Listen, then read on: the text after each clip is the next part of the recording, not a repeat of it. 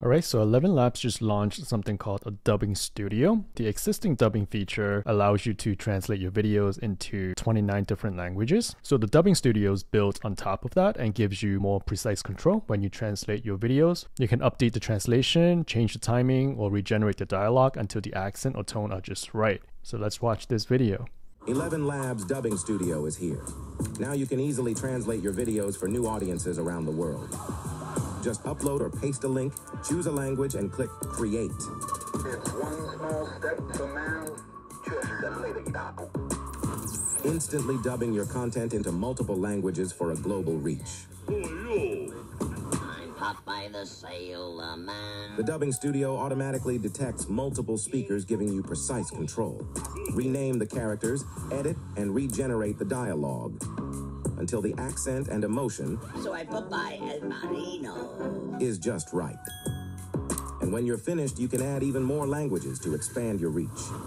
In a land where the sun scorches the earth. You ain't from around here, are you, boy?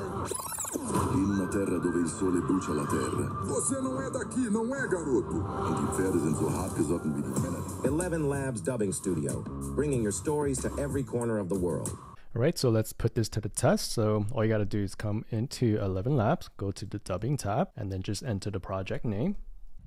And here you would just pick the source language. So I would just pick English. So for the target language, there are 29 different languages you could choose from. For this tutorial, let's choose Spanish.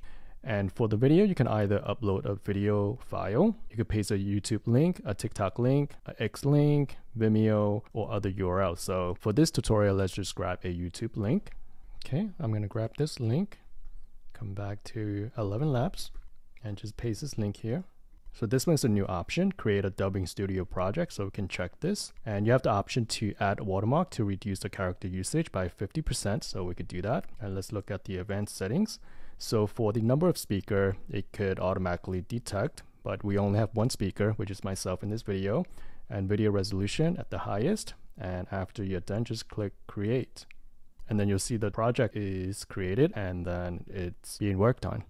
Okay, now it's finished. So when it's finished, what you can do is come down to details and you'll see the project details. So just so you know, if you have checked this box, create a dubbing studio project, this is what it looks like. I created like two test projects down here that didn't select the option. So you have the option to view this project and download it, right? So in this case, we can just come to edit so in, in, here is where you could edit anything you want. So on the top is also where you could find the different segments. So let's say if you spot any mistake and then you could regenerate the audio or retranscribe. So I'm not that fluent in Spanish, so I will just take their word for it, assume that this is good. And once it's good, then you could just click on the export button. Click export. All right, now it's done. You could either view it or download it. So we'll just view it.